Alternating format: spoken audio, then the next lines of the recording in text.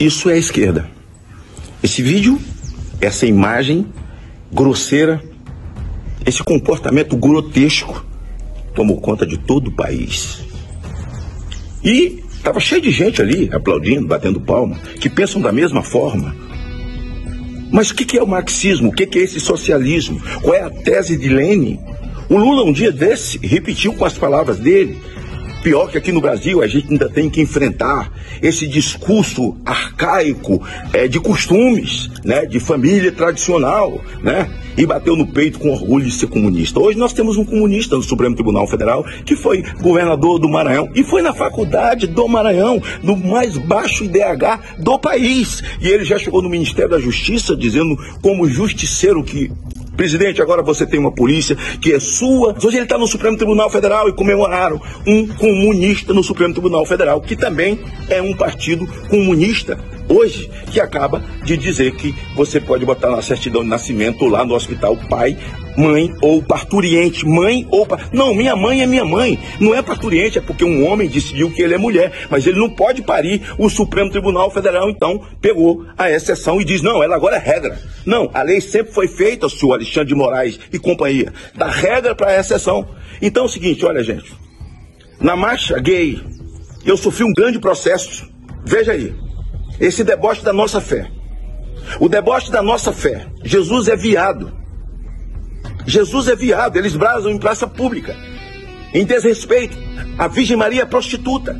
Quando presidi a CPI dos maus tratos, que eu trouxe o curador, que fez aquela exposição no museu em Porto Alegre, levando as crianças para verem a Virgem Maria com um pênis na mão, Jesus com um pênis na mão, a hóstia sendo banalizada, escolhambada, uma ovelha sendo estuprada, um, dois homens estuprando um outro homem negro, que eles tanto defendem. Vejam vocês, o PL 122, senhores pastores, senhores padres, senhores líderes, religiosos, cristãos, que conhecem a palavra, isso é a esquerda. Eu preciso que vocês disseminem esse vídeo.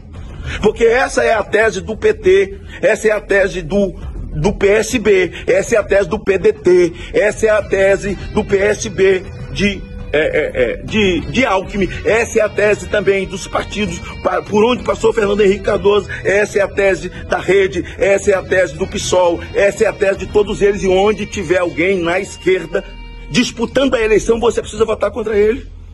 Nós precisamos arrancar essa esquerda desgraçada, maléfica, malévola do nosso país. E não importa quem está do outro lado, não importa o CPF. Para nós o que importa é arrancar essa ideologia maligna de ideologia de gênero nas escolas. O kit gay, se lembra do senhor Haddad? Eu estava naquela luta, naquela guerra. Botamos 80 mil pessoas em frente ao Ministério da Educação, comandados pelo pastor Silas Malafaia. Ninguém pode se esquecer dessas coisas. Escola sem partido. Quem foi que mandou arquivar esse projeto? O senhor Cristóvão Buarque, esquerdista. Quem era o autor do projeto? Eu. Foi para o arquivamento, porque o que eles querem é ter escola com partido, é a tese de Zé de Seu para doutrinar as nossas crianças e agora o Ministério da Saúde quer também é, hormonizar crianças a partir de 14 anos para mudar de sexo. Isso já vem acontecendo na USP. Gente, isso é a esquerda. Isso é a esquerda. Eles não querem respeito e não querem respeitar ninguém. E quer que nós engulamos isso. Existe aquele sujeito que faz sua opção pela sua homossexualidade, aqui tinha um chamado Moa, que era vice-presidente desse partido.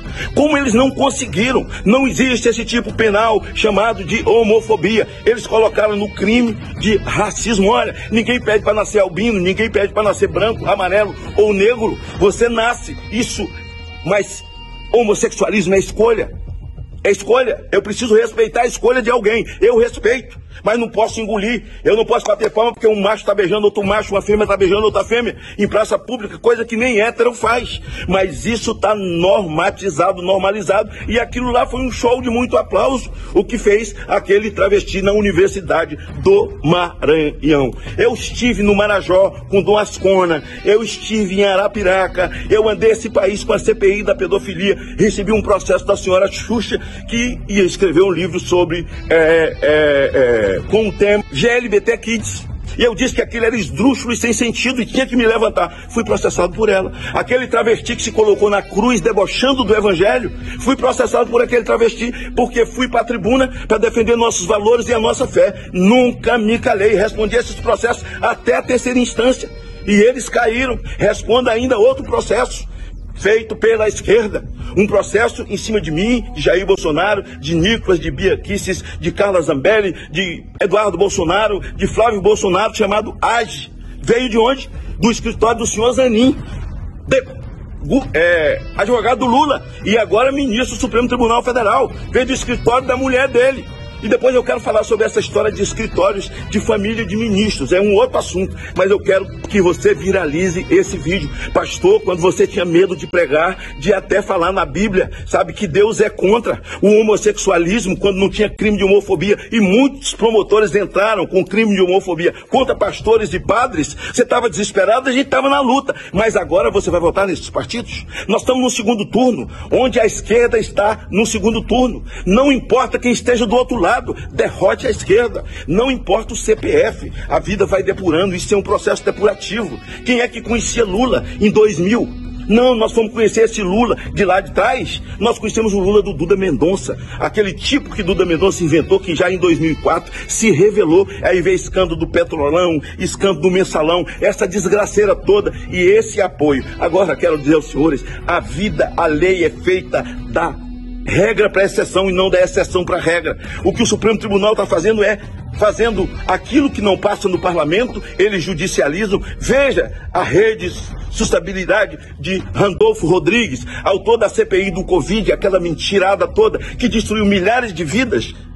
Então, senhores, vote contra a esquerda e seja ela quem for e onde estiver. Não basta dizer, ah, fulano é meu amigo, eu gosto dele, nós estudamos juntos, meu pai é padrinho do pai do, da filha dele. Não existe isso. Existe a tese do partido. Ah, não, isso é inclusão, porque as outras crianças, então tem que tirar dia da pai, dia das mães, não pode mais, porque tem três, quatro crianças que vão ficar tristes. E as outras 200, 500, sabe, que tem pai e mãe, vai ter dia dos pais, vai ter dia das mães, nós vamos brigar até o final com relação a isso, porque mãe é mãe, pai é pai. Deus criou macho e fêmea. Ninguém pode inventar um terceiro sexo com uma lei. Mas é preciso ter coragem de guerrear isso. Então esses caras estão nesses partidos, participam disso tudo, sabem disso tudo há anos. Mas quando o processo eleitoral vem, eles ficam caladinhos, não sabem nem como se defender. Isso não é inclusão, isso é desrespeito à grande maioria. E democracia é isso, a maioria decide. Então nós estamos vivendo num país que é ditadura. O que eu estou falando aqui, hoje, para o Supremo e para eles, eu sou um antidemocrático. Isso é antidemocracia. Não, isso é a realidade.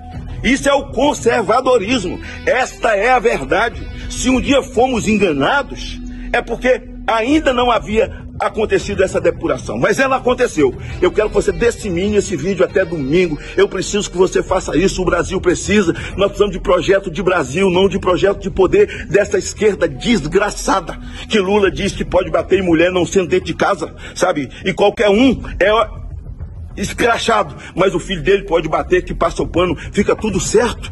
A desgraça voltou para esse país de forma debaixo da luz. E nós temos que reagir a tudo isso. Então, dissemine isso. Onde tiver um esquerdista disputando o segundo turno, derrote ele, derrote as teses dos partidos dele, derrote a tese do partido dele onde tiver PSOL, onde tiver PT, onde tiver PDT, onde tiver PSB, junto, derrote. Por favor, porque você estará fazendo isso por você, pela sua fé, pelos seus valores, pelos seus filhos, pelas próximas gerações. Com fé em Deus, nós vamos passar por tudo isso. Mas é preciso que a gente tenha coragem de assumir posição. Tenha coragem. Não importa o CPF que esteja implementando esta esquerda, não importa. O processo é depurativo. A própria vida se encarrega. Mas o nosso é arrancar a esquerda do poder. Deus te abençoe.